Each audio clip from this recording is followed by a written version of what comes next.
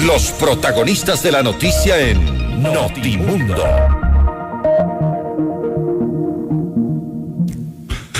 A esta hora estamos en línea directa con el doctor Carlos Oporto, él es analista de datos eh, de eh, la pandemia del coronavirus precisamente. Doctor Oporto, bienvenido a Notimundo Estelar, le saluda Freddy Paredes, buenas noches. Hola Freddy, bueno, muchas gracias por la, por la invitación. Bueno, una pequeña aclaración, no, no soy doctor, por lo que a veces se confunde un poco, ¿no? Más analista de datos. Eh, hablo así bastante con epidemiólogos y, médicos de doctores, con lo que es el análisis de datos y proveyendo datos con ellos, ¿no? De acuerdo, gracias por la aclaración. Vamos a ver, ¿qué, qué, qué le arroja el análisis de los resultados que ha hecho usted permanentemente eh, sobre el coronavirus ahora con la presencia ya confirmada por el Ministerio de Salud de esta variante Delta? Sí, eh, bueno, de lo que he hablado bastante con epidemiólogos, médicos y base al análisis de datos de lo que está ocurriendo en varios países, eh, básicamente hay una diferencia, ¿no? Ya la, con las vacunas la pandemia ha tomado un giro, ¿no? vemos que en los países con poca vacunación, con un 5% de vacunación, la variante Delta eh, está aumentando de una manera exponencial y, no solo los casos, sino también hospitalizaciones y fallecidos, ¿no? Esto estamos viendo en países como Rusia, como Sudáfrica, Indonesia, Bangladesh, con muy poca vacunación y estamos viendo este, que la variante Delta sí es muy preocupante porque tiene mayor transmisión incluso que la alfa, la variante de, que es la variante del Reino Unido, y definitivamente con poca vacunación es preocupante, ¿no?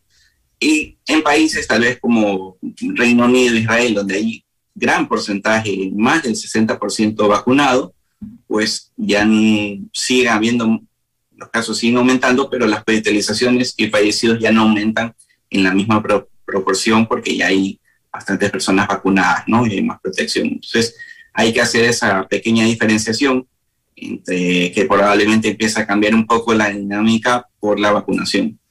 ¿Qué pasa en el caso del Ecuador, eh, Carlos, eh, eh, tomando en cuenta el, porcentaje de vacunación, que no es tan bajo como aquellos países que están azotados por la variante Delta, pero tampoco es tan alto como Chile, por ejemplo, en nuestra región? Correcto, sí. nosotros tenemos un vacunados totalmente, es con las dos dosis, tenemos un 9.5% de la población totalmente ya vacunada. Eh, esto quiere decir que son un millón, eh, un millón, tenemos un millón seiscientos mil personas totalmente vacunadas, ¿no? El 9.5% de la población. Y parcialmente vacunado, que es una sola dosis, tenemos dos millones doscientos cuarenta y seis mil personas, que es el 12% de la población. Entonces, sí, efectivamente no estamos en el caso de que de que no muy baja la eh, vacunación. Vemos que se está acelerando la vacunación en gran manera, algo muy positivo, pero tampoco estamos en una situación que estamos totalmente vacunados, ¿no? Entonces, estamos en una situación media, por lo cual sí hay que seguir con los cuidados y de momento igual desconocemos también eh, cómo pueda influir, aunque tenemos datos de otra población, necesitamos datos con nuestra misma población, nuestras mismas vacunas, sobre efectividad, ¿no? Lo que está planteado entonces en nuestro país es una competencia de velocidad entre la propagación de esta variante Delta que probablemente ocurra en la provincia del Oro y Guayas, donde ya están ubicados, y la velocidad que logre imprimir el gobierno, el Ministerio de Salud, con el apoyo de la empresa privada, universidades, etcétera, para ganarle al virus. Sí, básicamente tenemos una una, una carrera de, de, la vacunación, pero efectivamente vemos que la vacunación no es lo único, ¿no? No debe ser lo único que se realice para la prevención del virus, no, no será lo suficiente. Vemos en el caso de Brasil y en el caso de Chile, sigue habiendo ocupación alta de UCI y sigue habiendo una transmisión muy alta, ¿no? Entonces también eh, es importante que el apoyo de la ciudadanía para ayudar a que no tengamos ese tipo de, de ola en septiembre por aumento de casos, debido a que definitivamente ya nadie quiere otro tipo de ola o más restricciones ni nada de eso. Eh, es importante mantener medidas, seguir cuidándose, especialmente estos dos meses, hay que darle tiempo a la vacunación, hay que darle tiempo a que más personas se vacunen. Entonces es importante lo que hagamos durante estos dos meses para evitar esa ola, ¿no?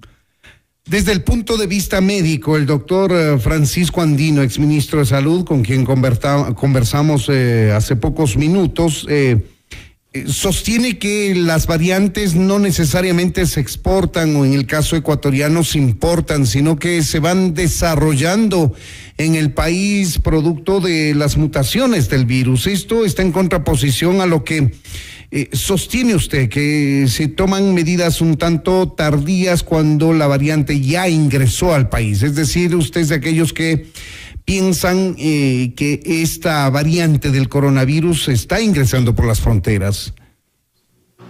Bueno, sí, si es una variante que, se originó en otro país, pues tiene que haber entrado de alguna manera, ya sea por vía aérea, eh, tierra, así como entró el COVID en, su inicio, ¿no? que se dio de una manera espontánea, se dio porque personas viajaron y entraron aquí, ¿no? Lo mismo todas las variantes que han entrado. Eh, sí puede haber una variante local no detectada aquí en Ecuador, puede haber, eh, de hecho ha habido, hay muchas variantes locales eh, que las ha detectado la Universidad de Ubes o la Universidad de San Francisco de Quito, pero no son variantes de preocupación. Por ejemplo, en Guayaquil tuvimos una variante, pero como no es una variante de preocupación o de interés, pues no es necesario seguirla monitoreando, ¿no? Eh, especialmente si hay, hay un montón de variantes, hay cientos de variantes, pero solo las que nos interesan son las que pueden provocar mayor transmisión o las que disminuyan la eficacia de las vacunas, ¿no? La efectividad, que es el caso de la variante DEL, que disminuye un poco la efectividad y también aumenta la transmisión. Entonces, por eso es una variante de preocupación y esto. Yo creo que era inevitable que que creo que era esperado. Es, es casi imposible, los países están casi imposible evitar que, se propaga esta variante, debido a que tiene mayor transmisión. Lo que sí podemos hacer es que no se expanda más, ¿no? Que no se expanda más, que no se vuelva una ola muy fuerte. Y eso ya hay como gobierno y como ciudadanía trabajar para que, para que esto no ocurra, ¿no? Estamos dialogando con Carlos Soporto, él es analista de datos eh, que ha producido importante información alrededor del eh, COVID-19. Eh, Carlos, eh, según los análisis que usted tiene, la velocidad de, vacunación que ha logrado imprimir el gobierno, tomando en cuenta este último fin de semana que se rompió un récord porque se sobrepasó la barrera de 200 mil inoculados en un solo día, algo que ocurrió el sábado específicamente. Eh, ¿Se va o no a alcanzar la meta que se trazó el gobierno de inmunizar a nueve millones de ecuatorianos en 100 días? Sí, todavía sigue totalmente posible la meta de vacunar a 9 millones con dos dosis en los 100 días. Dependerá un poco también si, si siguen llegando vacunas en, la forma en que han llegado a estos inicios de julio, pues sí se podrá haciendo, ¿no? Porque quedan 460 mil millones de vacunas, lo cual evidentemente eh, falta, ¿no? No es suficiente para llegar a eso, a esa cantidad necesaria. Han arribado 10 millones de vacunas al país se necesitarían 18 millones para cumplir el plan, ¿no? Entonces, todavía faltan vacunas, eh, me parece que sí llegarán, y con la velocidad que estamos, pues, eh, al menos hasta ayer, tengo que actualizarlo hoy, pero al menos hasta ayer, teníamos el 70% totalmente vacunado para noviembre 3 y el plan 900, que es 50% totalmente vacunado para septiembre 23, ¿no? Falta algo Efectivamente, si se sigue aumentando un poco más la vacunación y se sigue a buen ritmo, eh, bueno, así no sean los 100 días, sean 120 días, 110 días, sería algo muy positivo, ¿no? Ahora, con la inmunización de eh, al menos 9 millones de eh, los 18 casi que somos los ecuatorianos, ¿ese es un buen porcentaje de vacunación en el país para frenar la propagación del coronavirus en general y hacerle frente a esta mutación del Delta y el Delta Plus? Creo que tenemos que estar atentos un poco a lo que pasa en Chile, ¿no? Chile ya tiene un 50% de población totalmente vacunada y no es que ha desaparecido el virus, todavía hay la mitad de la población, eso significa millones de personas que no están vacunadas. Eh, hay que poner énfasis en que Ecuador tiene menos cantidad de UCI que Chile por millón de habitantes. Tenemos el, en este momento hay 75% de ocupación UCI COVID en Guayaquil y 100% en Quito, ¿no? Hay todavía una lista de espera, ha aumentado un poco la lista de espera en Quito. Llevamos desde enero con 100% de ocupación en Quito, por lo cual eh, los casos, así no haya variante Delta, los casos nunca se han podido disminuir a mínimos. Y esto es importante, ¿no? Tratar de no solo vacunar, sino disminuir la transmisión del virus, que es algo que no se ha podido hacer en Brasil y en, y en Chile es algo que sería importante hacerlo aquí, porque no solo va a ser vacunación, tienen que ser las dos cosas al mismo tiempo. Ahora, del análisis de datos que usted hace de todo tipo de variables, ¿cómo está el país en la región? ¿Sigue teniendo un porcentaje elevado de mortalidad, por ejemplo? ¿Sigue estando a la cabeza de los países de la región con mayor porcentaje de UCIs? Amén del número de unidades de cuidados intensivos por cada mil habitantes que tiene.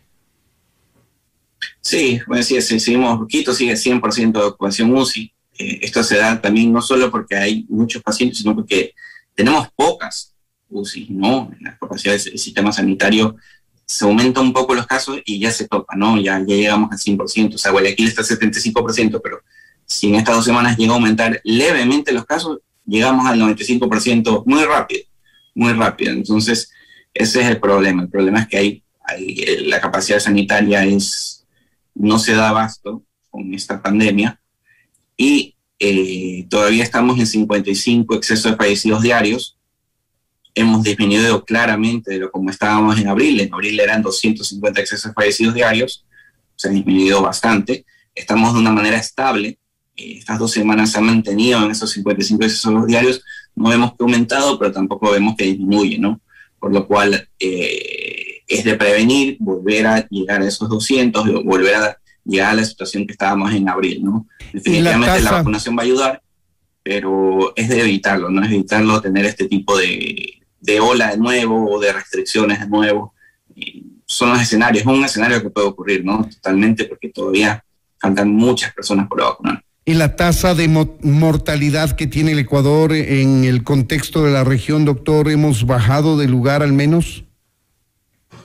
Eh, debido a que ya hay tanto exceso de fallecidos, seguimos entre los cinco primeros del mundo por incremento de porcentaje en exceso de fallecidos, ¿no? Es difícil que otros países nos superen, siendo que Chile ha aumentado fallecidos, no han tenido una ola explosiva, ¿no? Por la vacunación no se ve una ola explosiva, sino que simplemente están de una manera estable. Sigue crítico, pero no, no ha tenido esas explosiones de olas como las que tuvimos en abril nosotros.